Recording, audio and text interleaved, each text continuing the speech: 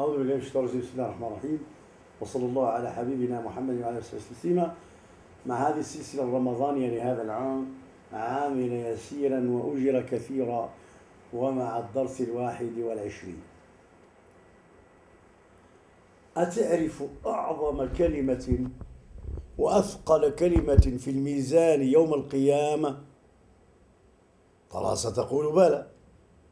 أقول لك هي لا إله إلا الله. لا إله إلا الله. وإليك بعض هذه الأحاديث التي تبين أنها عظيمة عظيمة عظيمة. فهي كلمة الإخلاص وكلمة التقوى والكلمة الطيبة.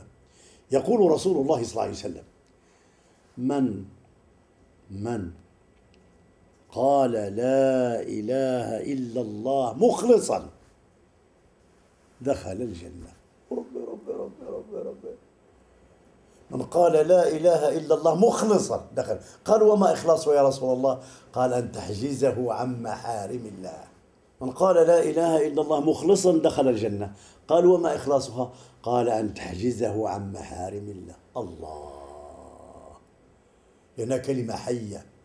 إذا عرف الإنسان معناها أنه لا إله في الكون بحق إلا الله ولا يعبد إلا هو بحق في الكون سيكون الإنسان حينها مؤتمرا بأمره يخافه فلا يعصيه. فإخلاص الكلمة أي أنها تحجزك عن محارم الله. قال رسول الله صلى الله عليه وسلم من كان آخر كلمة من كان آخر كلامه من الدنيا. لا إله إلا الله دخل الجنة. الله الله الله. عند الموت أيضا.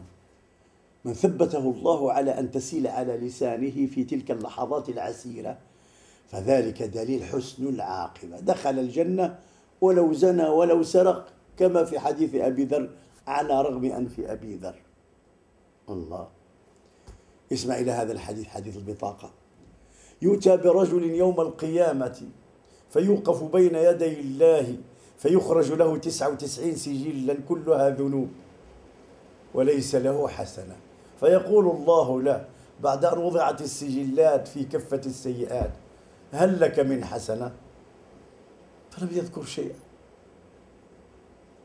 فقال الله إنه لا ظلم اليوم. فأخرج بطاقة فقال وما عسى هذه البطاقة أن تغني مع تسع وتسعين سجلا كلها مسودة بالذنوب على مد البصر. قال الله لا ظلم اليوم. فوضعت في كفة الحسنات فطاشت بهن. أتدرون ما الذي فيها؟ لا إله إلا الله محمد رسول الله. قال عليه الصلاة والسلام لو وضعت السماوات السبع في كفة لو وضعت السماوات السبع والأراضين السبع في كفة ووضعت لا إله إلا الله في كفة لرجحت بهن. فعليك بها. داوم عليها. اذكرها. لا يفطر لسانك بها. فلا إله إلا الله.